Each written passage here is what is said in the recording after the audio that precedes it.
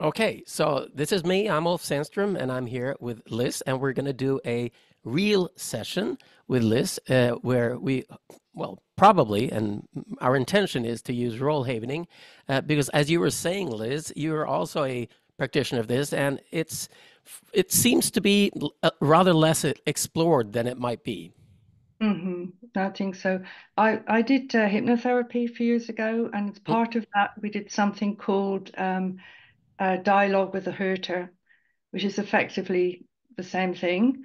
Um, we had very strong rules about what you could do and not do. And so, uh, what, could, what could you not do? That would be the most interesting thing. Yeah, you could not allow um, an abuser to have a voice. It was just yours. Um, that was important, but also it was something that came from the person um, because the view was that in the subconscious, you knew your mother, you knew why she did things subconsciously. So it was a good way um, to allow a conversation um, with your mother, for example, um, if it came from myself. Um, and you were allowed to guide. Mm. But, uh, and our problem often was that sometimes the abuser or um, person that had wronged you or, or, or that you didn't make resolution with uh, didn't want to know you still. So yeah. you could have that option where they didn't want to apologize. Yeah, exactly, and, that, and that's that's why there was a long discussion thread in in the forum uh, about mm-hmm. this. So mm-hmm. I'm an avid. Uh, I, I keep saying that everything needs to be clean, and also that the answer to absolutely everything in the whole wide world, you know what my answer is? It depends. exactly. It depends. So, mm-hmm. you know, I, I, would never be categorically saying that you should or shouldn't be um, giving an abuser a voice. Uh, mm. But I do say that it has to be clean, uh, and the voice has to come from inside the person who has met that person. Otherwise, you are imposing new things. But mm. let's get going with the session because I need to start. So let's do this. Put your hands together. And even though you and I know this is havening, I'll be explaining it exactly the way I do with any client. So th- this is for the benefit of anybody who hasn't seen this before, okay? Mm-hmm. So I want you to do this with your hands, and I want you to do it as if you're rolling a glass pearl between them. Just imagine that for a moment. So you, you don't want to drop it and you don't want to crush it. That's the amount of pressure that you want to find. Now, since this is clean, that means that only you know what that means, right? But I also want you to tell me are your hands warm or cold? Warm. Okay. Are they hot or humid? Are they humid or dry? A little bit humid.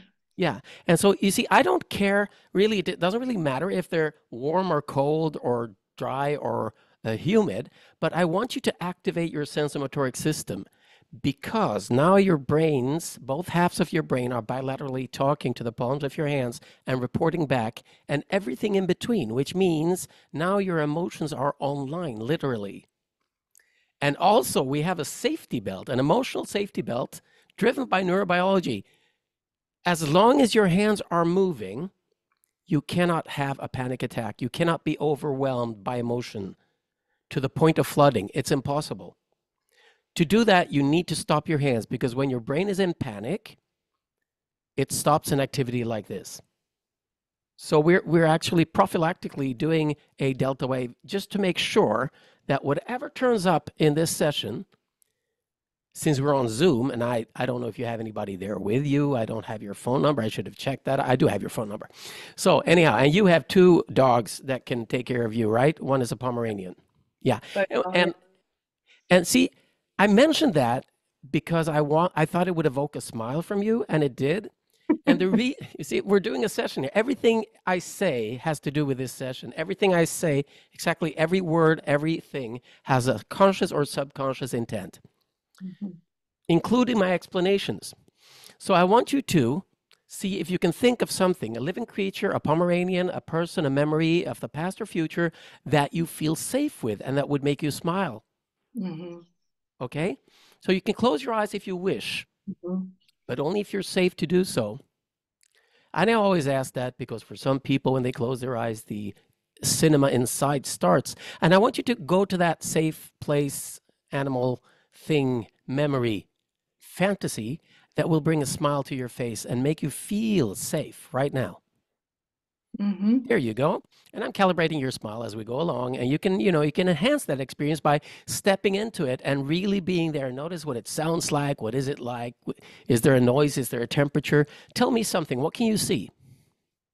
Uh, I see both my dogs Hmm. every night before, yes, they go to sleep. They come and cuddle. Oh, they come and cuddle. So, uh, Mhm. do you actually, is it like they are cuddling with you right now? Uh, yeah. Mm-hmm. Mm-hmm. And On when they do that, what do you feel in your body? Um, warmth And where in your body do you feel warmth? floods down everywhere. Floods down? Mhm. hmm And when warmth floods down, what is that like? It's like um a rainbow. A rainbow? Hmm. Mhm. A rainbow with little drops of rain. Yeah. And what would a rainbow with little drops of rain want to have happen next? Uh, just to wash away everything from the day. Wash away everything from the day? Mhm. And Yeah. just um, set up peace for the night. Right. Peace for the night. So tell me, um, in a little while, we're going to change subject. If you f- get tired of doing this with your hands, there are two other movements. We can Mhm. just check them out so you've seen them. One is that you go from your shoulder and down, Mhm. and you can just compare them. You know, which one of these two do you feel is is feels more comforting or soothing or or Mhm. safe right now? This one. This one, okay? So this is a bilateral bihemispherical stimulation. So by crossing your arms, you actually get more effect. If you put on a QEEG cap, you will find that there's a pattern like this going on because left brain is talking to right hand, is talking to left shoulder, is reporting to right brain, is Mhm. telling left brain, right? And the same thing the other way around. So that's probably one of the reasons why the brain thinks that we're okay because we're doing this and we're experiencing it. Hmm So there is a safety to it. There is a third way of doing self-havening, which is like this in the face, as if you're washing your face. And you can just choose whichever one you want. As you choose the one you want, I'd like you to just try this, just moving slightly from side to side. It's called shuckling in Jewish prayer. It's they do it in Tibetan prayer. They do it in a lot of praying traditions, in, including Buddhist praying. Sometimes called pelvic floor exercise in yoga, and it actually engages loads of muscles also that you wouldn't be doing if you were frozen in a free state. And by Mhm. doing this, I now have your hands and your movement to calibrate you with. hmm So if you suddenly stop, I know that something's going on, and I'll tell you, please continue. Is that okay? Yep. Okay. So you had a real issue. This is a real session. You had a real issue. Uh, Mhm. Can you tell me something about it? Sure. Just very Uh, short. Yeah, very short. It's really about my about my sister, but it well, it is about her. Um, approximately, oh, I don't know how long. Uh, 2014, my dad died. And I think about five years before that, she emigrated to New Zealand. And um, when they went there, later on, we we realized they came to the decision that they were never going to return to the UK, whatever. They made that decision when they left. And my father had several strokes. And so before he died, I had to visit him many times. Um, and then I was the only one who could take care of my mum, who died in 2018. So um, during that time was lots of other things going on in my life. I, I hear I hear you have you know I, I hear in your voice that keep going with your hands keep going please keep going.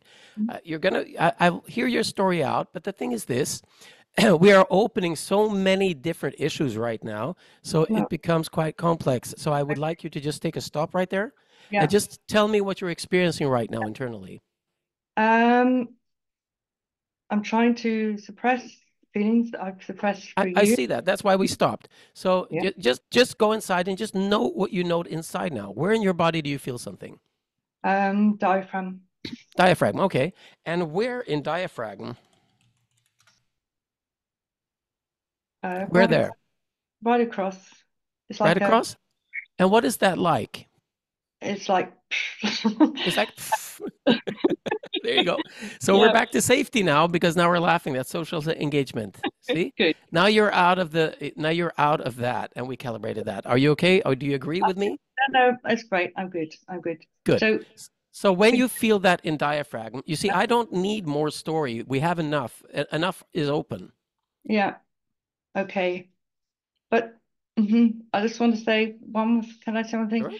Um, after my mother died, um, she became the estate and not a person anymore. Yeah. And there was this letter that came from my sister that went to 14 other people about me. And that's it. Yeah, and that's why I want you to stop and not go all the way because you're going straight to the one, and I- I don't want to go there. You see, I would like you to go back to when you're mm-hmm. saying goodnight to your two dogs and they're in bed and they're mm-hmm. snuggling with you. I would like you to pick up that smile right now. Mhm, Do you find it?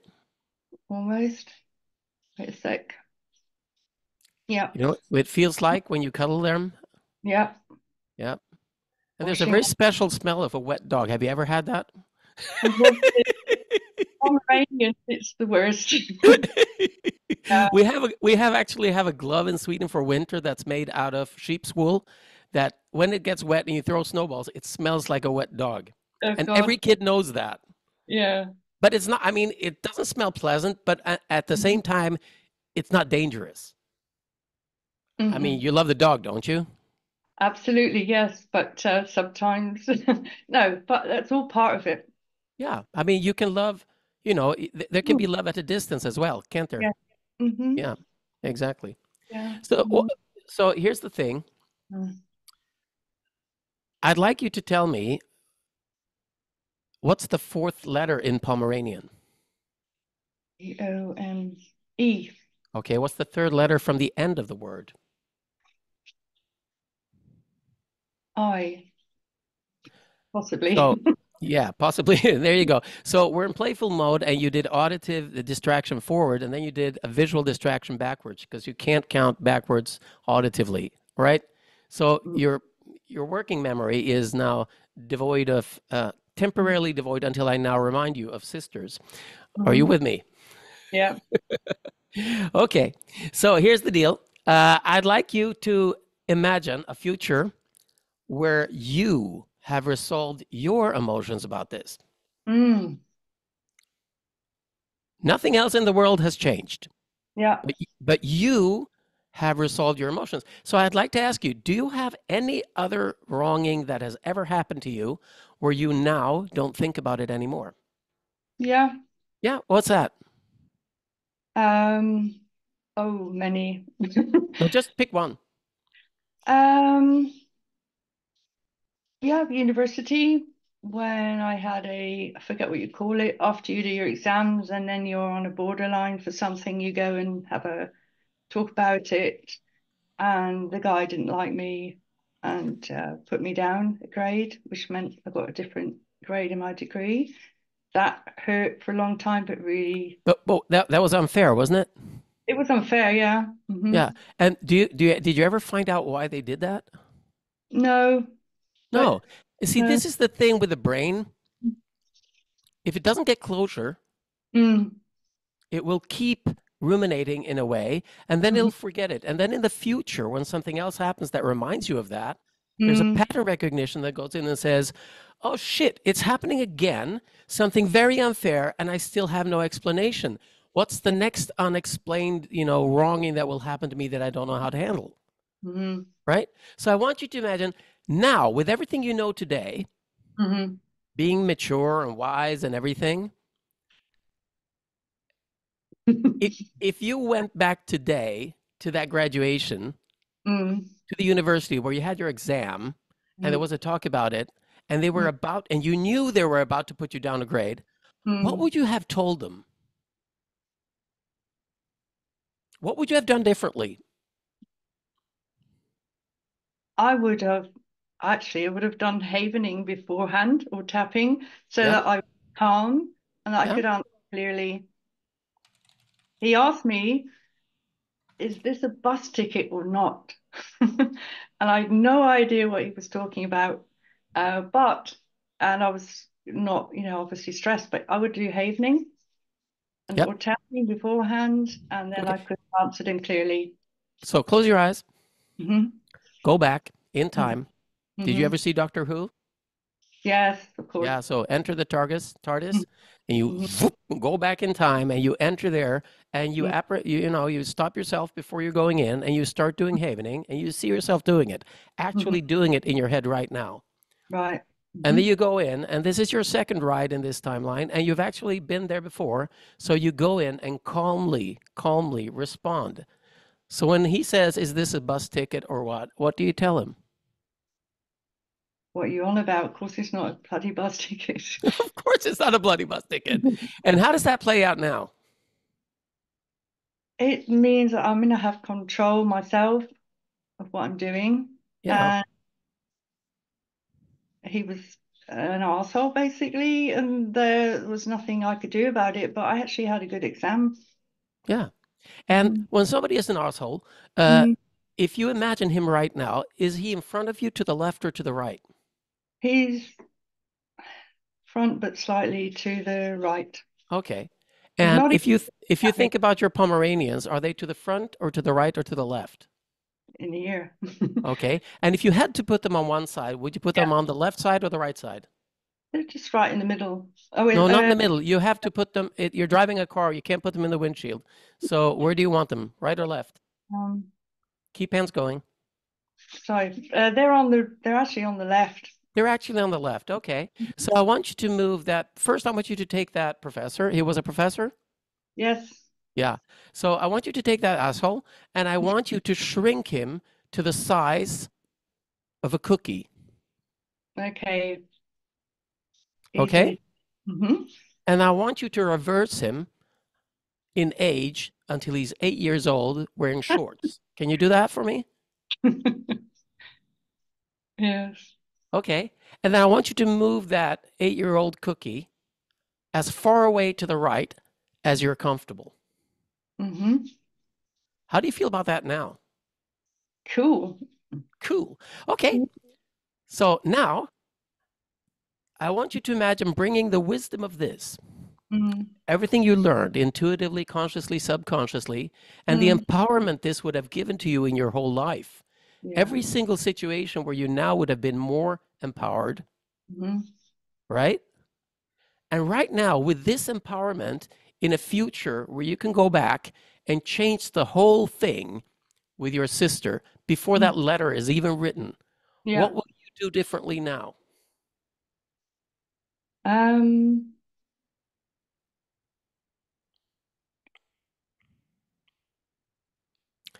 on. You know Um, she potentially will send a letter. So first of all, she goes away, but you know she's never going to return to the UK. So you have to handle the whole dad thing differently, don't you? You mhm. can't you can't be hoping she'll be come back to help you, can you? I never did, but um, yeah, it's um, no, um, it's really accepting then, just uh, looking out for myself more than trying to do everything for everyone else. Yeah. And what would you do? What would you see that is different now that you are looking out more for yourself? Um,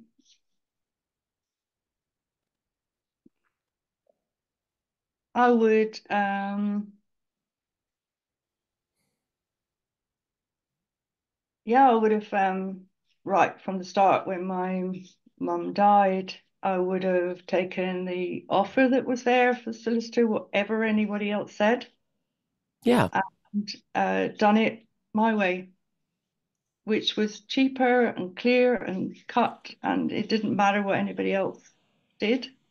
I would have just done it the way that was the most obviously simple way for me as well. Yeah. Mhm. And if you see yourself doing that actually, hmm how does that feel? Feels uh, good because um, people will be angry with me, but they're angry with me anyway. So it didn't Yeah, make a exactly. And and who's I mean, good. whose problem is that if they're angry with you and you did the right thing? Theirs. Yeah. hmm hmm Yeah. Yeah. So, which Pomeranian is cutest? Um, probably the smallest one. Okay, we won't tell them, will we? No, Okay. he, he doesn't. He, he's more affectionate. No, they're both. He's less angry at things, so he's Yeah. he's sweet. Yeah. Mhm. Yeah. Manny. So- It's it's nice when people are less angry, isn't it? mm-hmm. Yeah. Sorry, dogs. Yeah. Okay. So here we go. So Mhm. I want you to imagine your sister when she was eight years old. Yeah, I can do that. Can you imagine her the size of a cookie? Yep. She's a chocolate chip cookie. Yep. Chip on the shoulder? Yes, very many. Yeah, very good. And imagine her being somewhere between you and the professor on the right side. Mm-hmm. How do you feel about that? Fine. Yeah. Good. Mhm. Excellent. Nice. How many more siblings? Uh, brother, So think about brother. What happens? that's also not good. So he has to go on the right side as well. Uh, just do it. Just do the same thing. Cookie, eight years old. Does he Mhm. have short pants or what? Uh, short pants. Um, yeah, his nappy's on actually. He's gone down to Oh, excellent. Yeah. Nappies, beautiful. And Mm. is, is it's is it chocolate chip or is it something else? gingerbread. No, it's a custard cream. okay, it's a custard cream. Mhm. And you place that exactly where it needs to be to have no impact on you right now. Yeah, he's he's just in front of the sister to yeah, nearer Yeah. to me, but very close to her. Yeah. There. And that's fine, isn't it? Mm-hmm. It's good. So go back to your mom. Mm-hmm. Is there anything you would have liked to tell her that you didn't tell her? My mum? Hmm? No. I could If uh, if you could I tell her have that. something right now, what would that be? um no, what is important about actually about my mum is that I haven't been able to really grieve properly to the end Mhm. because of all the other stuff. So Yeah. it's really nice now to just accept her as she Yes. And here's the thing, when you accept something,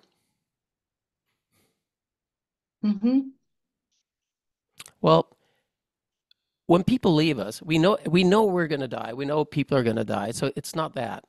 And grief to many people, I don't know about you, but to many people it's about love.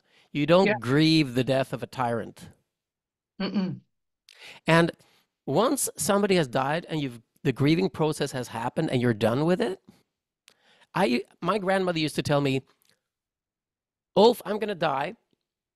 And I want you right now to imagine that I'm dead because I want to see the smile you have in your face when you remember me the way I was my best. Mhm. It's nice. Isn't that a crazy thing? It is, but it's nice.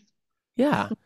So imagine if you were, I'm, not saying you can or can't, but Mm-hmm. imagine if you would put the smile in your face that if your Mhm. mom could see it now, this is the Mhm. smile you have when you think about her having passed. hmm So it's like a statue. We don't do statues of people sitting on the toilet. We do statues of them sitting on a horse looking proud or with a flag because we want to remember them at their best. Are you with me? Yeah.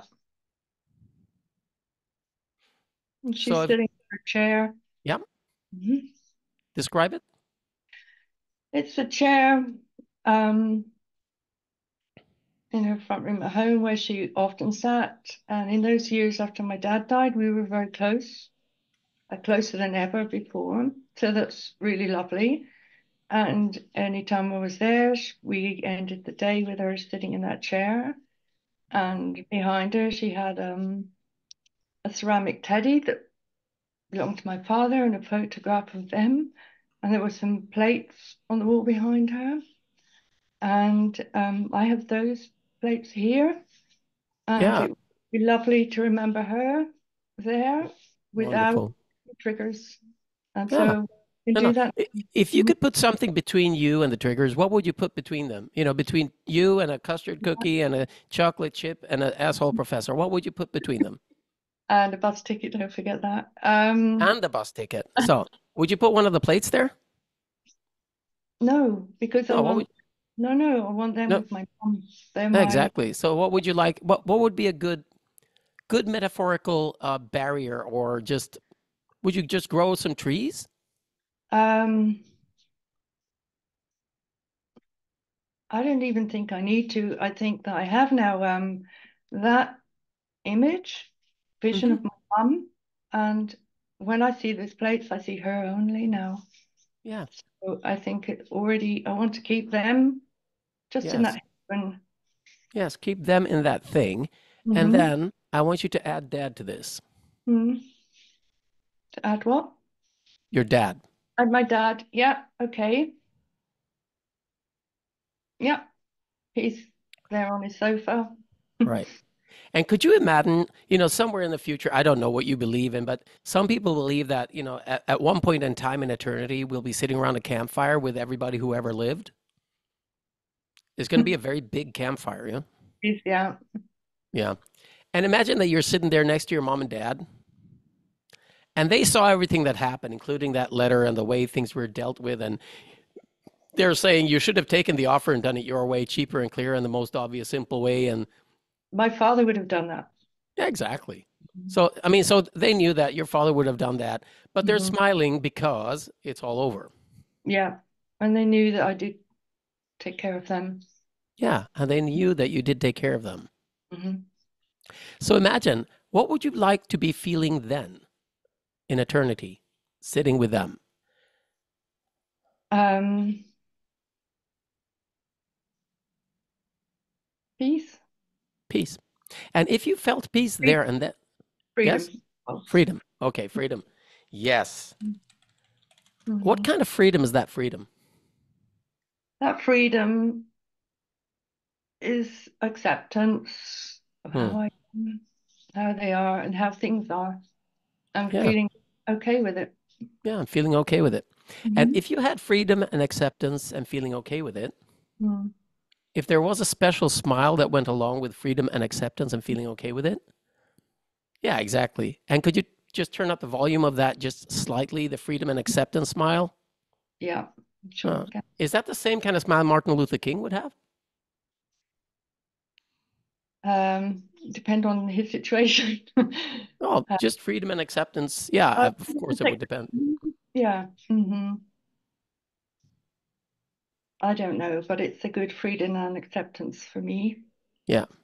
So, what? Who is a person that embodies freedom and acceptance for you? Uh, Gandhi. Gandhi. I Mm. was, yeah. So I was sensing a, a public figure and a leader there, and then I went into my own. That's very unclean, Ulf. Shame on me. Okay. so we have Gandhi, and we have freedom, and we have acceptance, and we have mom and dad. Imagine Gandhi being around the same campfire. Everybody who wants to can be there. Okay. Mhm. And now we're going to do something, you know, slightly.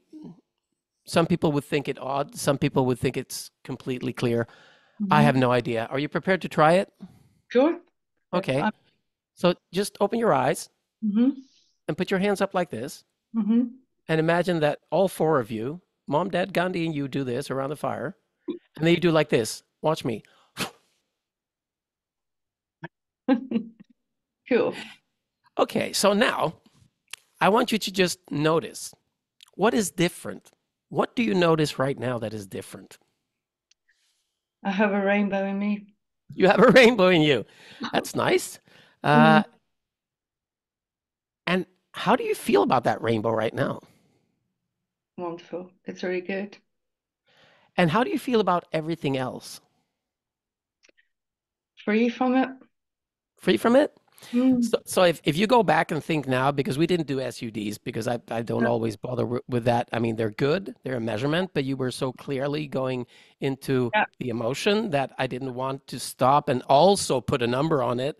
Yeah. that, that- that's like grading how deep a wound is, right? So if you I think about it now, It was a nine. I can tell you that. Yeah. and where and where is it now for you? Zero. Zero?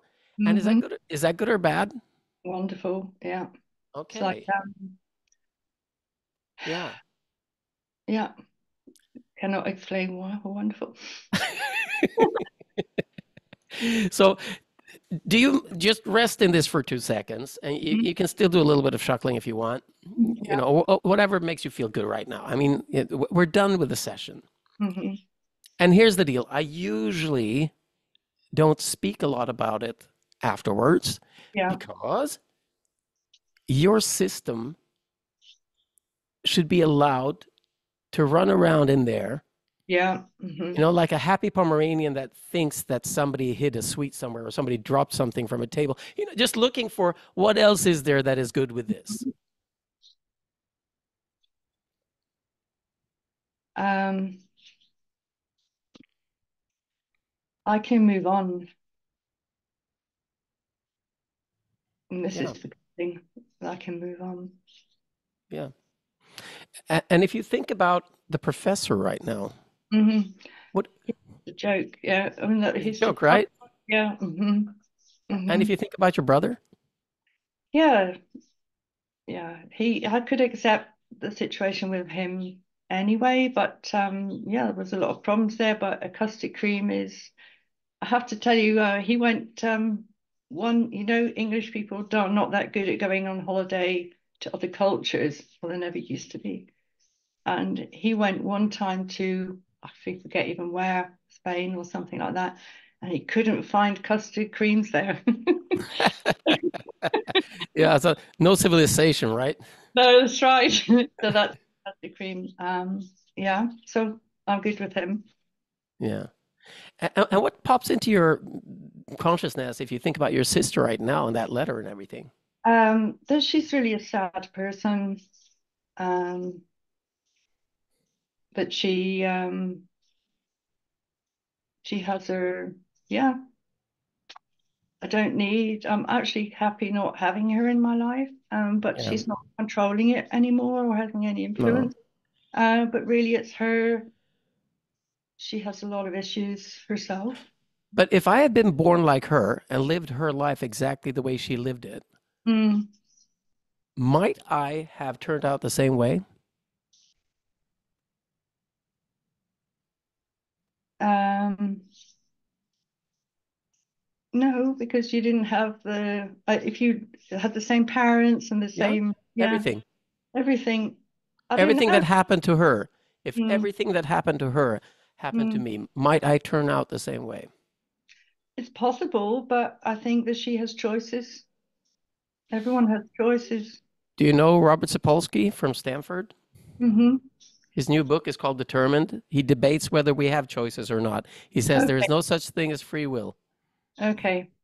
Oh, I like that because I would agree with that too. and the reason he says that, it's interesting. I, lo- I love what he does. I love his work. And Yes. it's so much of it depends is in there because he Mm, has this lecture called Humans at Our Best and Worst, which mm, is, you know, what is it that, that decides if we pull the trigger or not? What is it that decides if we're nice or not to a mm, person?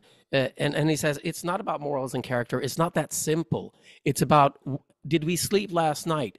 Uh, was our mother stressed when we were in the womb before being birthed? Are, do we mm, have four generations of people that needed to be aggressive to to mm, guard their herds rather than collaborate with other farmers? There are so many aspects to that. So mm, that I mean, I don't agree with him that there is no such thing, but I mm, do agree that it's a lot less than we probably may think, mm.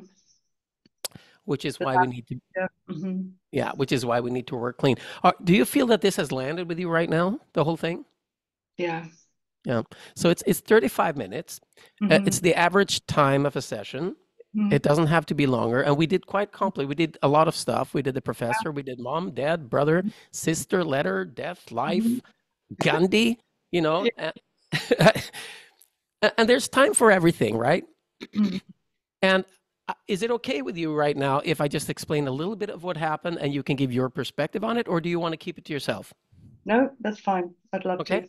Yeah. So for those of you watching, uh, Mhm. everything I say, every single thing I say, is as you know. I, I'm I, I I'm a musician. I'm used to being on stage. When you're on stage, everything you say is scrutinized. There is you don't get away by saying um or sorry or you know. So everything you do has to lead towards the goal. And in a concert, that is for people to feel good when they leave. In a therapy or coaching session, it's for the other person to feel good when they leave. So it's it's the exact same thing, right? And so I, what I found out doing music was that concert could be therapy for many, and therapy is a concert for one. Mhm. So clean guides everything I do. And as you noticed, it doesn't guide everything I do because it depends. If I feel that we have playfulness, if I calibrate that we can get back to the laughter, that we're not going into any flooding or abreaction, because that's useless. Because you want to find a new perspective for this. Mhm. And to do that, your brain has to be in the social engagement mode from the polyvagal theory. In social engagement mode, you smile reciprocally, you, you smile and you counter smile and you smile back. You do not smile when you're in self defense or when you're in freeze. So to be in, to, to go into that abreaction and go there and find it and get used to it and flood it, it's completely crazy according to me because the person is getting into a state of non-creativeness, non-finding solutionness, right? Mhm. So we need to keep it in the playful and the smile. That's why we need to go back to the Pomeranian and, and you know Gandhi and whatever, because that's the most important part of the safety. And then I reflected almost every single word you said to you, and if you saw my notes, you would say, I, if, if I read you my notes, because I need the words to be able to remember to reflect them at the end of the session and to see what might be useful in the role havening. Uh, there's the science of an excuse that was the reason for this dialogue about role havening, right? So we didn't really do role havening where somebody said something in that way, but you we did in a way because you said to the professor and you said to your mom. So it was role havening, but it didn't really follow the science of an excuse. But it doesn't have to follow that.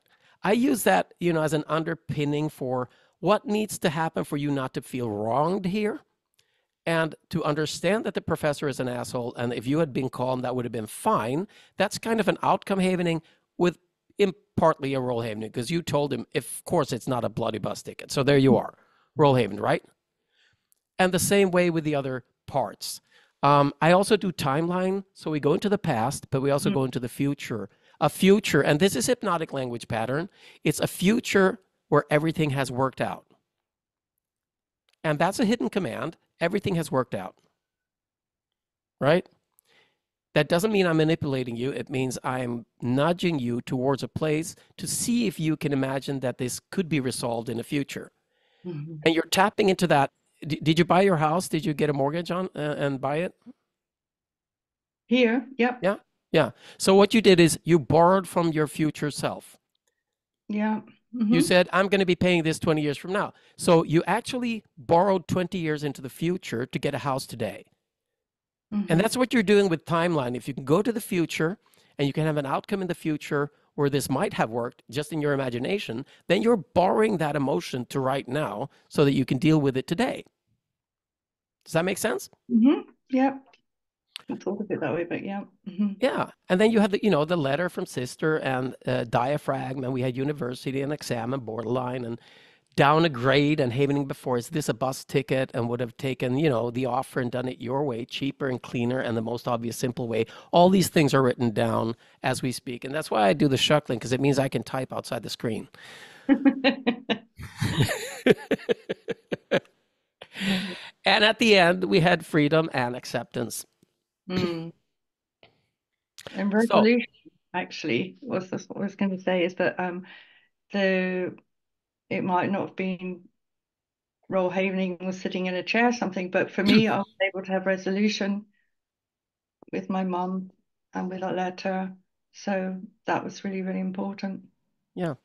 Mm. And the and the professor. And that. And we also did some uh, visuospatial sorting. So i- in if you go into cognitive neuroscience, uh, we have this visual spatial scratch pad in our brain where we sort stuff, just like garbage, you know, Mhm. plastic, metal, burn, food. And what we did was usually we sort. I mean, everybody's different, it depends, but usually we sort stuff right, left. And usually we sort good, bad. So we had to find out what was your good side. It was your left side. That's where you wanted your mom and everything. What's your where do you put the garbage? To the right. Okay. So you put it to the right. How far away? As far away as you need to to be able to feel good.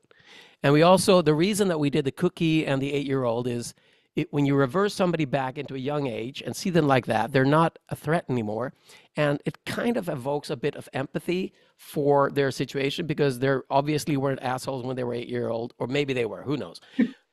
but if they're also cookies, then your brain is now latching on qualities that are not necessarily threatening or bad Mm. into the way you sort that the the idea of that the concept of that person are you with me Yeah. And I think I've I've I've got that fixed a custard cream and a chocolate chip. It's it's fixed now. yeah it's e- so much easier for the brain because now you have more senses there's a taste Yeah. a smell a shape a form a texture Mhm. okay well thank you i, I really appreciate this I, I Mm. do you have any thoughts if you temporarily take off your your uh, personal uh, hat and put on your practitioner hat what do Mhm. you take with you from this I love the um, left right thing. I've never done that before, um, but I realize now that I do do that. Um, I was really strong about putting my dogs over on the left side, and I thought you wanted to put me on the on the right, but I, no, no, no, they're going on the left. So uh, that's weird, but it was really, really good. And timeline I've not used a lot, but that's really sensible. Um, no, it's really good. And I am a visual person. It was great to be able to do that. And I really appreciate it. Thank you very much. Cool. And you also noted that we did gold mining in the beginning. We started by not going into the problem because I could sense, I do that anyhow, but I could Yeah. also sense that it was emotional. So we wanted to establish a neural scheme, a neural network that was a resource network that we could go back to, which we did all the time. So you should really give your Pomeranians, they're both Pomeranians? Yeah. Yeah, you should give them a treat now because they really will helped us in this session. Thank you very much. both. Mhm.